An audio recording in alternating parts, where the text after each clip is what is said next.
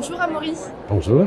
Alors vous êtes CEO d'ADN AI, euh, entreprise qui a récemment collaboré avec la Tour Eiffel et le musée Rodin. Est-ce que vous pouvez nous expliquer en quoi consistait cette collaboration?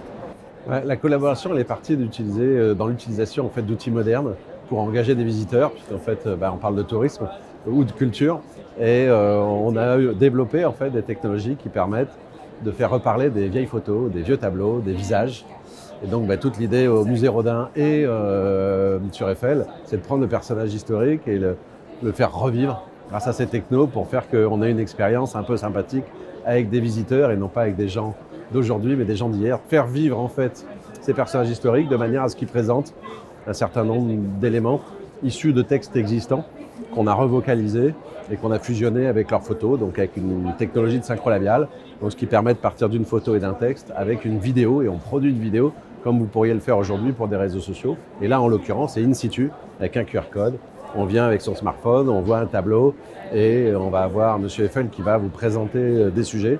Et au fur et à mesure, on évolue comme un parcours hein, euh, euh, à côté sur le cartel. On active son, son QR code avec son smartphone et on va avoir le personnage qui va dérouler une information dans une langue ou dans plusieurs langues. Et donc l'idée c'est vraiment de, de faire passer de l'information autrement à travers une technologie qui peut être attrayante pour le jeune public, mais, mais pas que, je suppose. Ouais, Enfin, ça ne alors, s'adresse pas forcément Ah. C'est c'est vrai qu'au niveau des plus jeunes, la, la- la- la grosse tendance aujourd'hui, c'est d'avoir une consommation de vidéo, parce que leur consommation n'est pas en texte, elle est en vidéo. Donc si on veut les engager, bah, tant qu'à faire, autant s'adapter à leurs médias.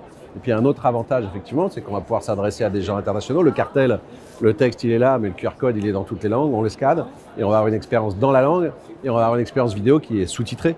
Donc aussi, on a une accessibilité renforcée, parce qu'on va voir et on va entendre, et ça va permettre justement d'avoir, euh, de répondre à un public assez large puisqu'on a été surpris aussi de- des typologies de classe d'âge de personnes qui pouvaient l'utiliser. Et, justement, en quoi l'IA là-dedans en fait vient euh, concrétiser certains projets? Parce que là, on parle surtout d'information et de vidéo.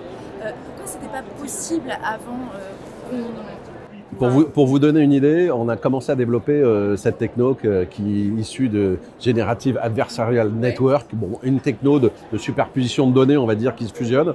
L'année dernière, pour générer une vidéo d'une minute, il me fallait trois quarts d'heure.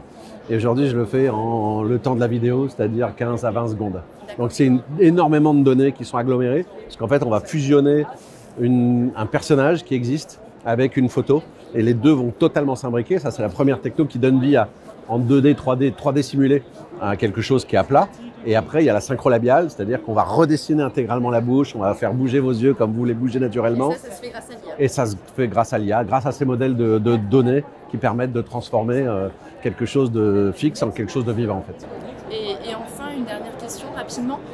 C'est vrai que ça fait quelques années qu'on parle déjà d'intelligence artificielle dans le secteur de la culture. Est-ce que là, cette année, en 2023 et pour 2024, vous, sentez qu'il y a un vrai changement, que les acteurs ont vraiment pris conscience de l'importance du phénomène et surtout arrivent à maîtriser cette, technologie?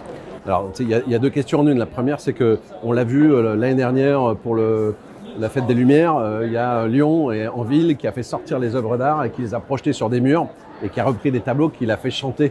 Tu sais, avec l'application mimique que vous devez connaître, bon, qu'on retrouve, qui sont des applications qui donnent vie à un tableau, mais qui les font chanter. Un intérêt un peu limité historiquement, mais en tout cas, ça permet de faire sortir les œuvres euh, de leur, de leur endroit et de les rendre accessibles. Donc ça, c'était le côté un peu ludique et rigolo. Maintenant, nous, on a développé une techno où n'importe qui peut venir générer ses propres vidéos sans ce qu'on appelle du no-code, hein, donc euh, sans compétences techniques, et euh, en SaaS, donc en accessibilité libre.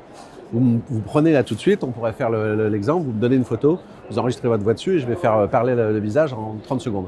Et donc ces outils-là, maintenant, ils sont accessibles à tout le monde. Et on voit, pour répondre à votre question, on voit qu'en fait, entre l'idée de ce qu'on pourrait faire et, et la matérialisation, l'autre complex- complexité, c'est que on imagine beaucoup d'IA, de faire des choses très complexes et d'aller euh, très loin, alors qu'on peut faire des choses très simples. On est parti maintenant de choses beaucoup plus simples pour les rendre accessibles. Donc la première chose, c'est commencer à, transformer un cartel texte en cartel vidéo euh, multilingue. Parce que c'est facile, c'est hyper rapide à mettre en place. Chacun peut le faire ou on peut les accompagner.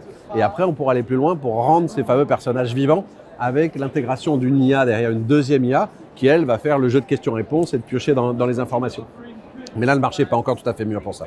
Très bien. Merci beaucoup. Je vous en prie.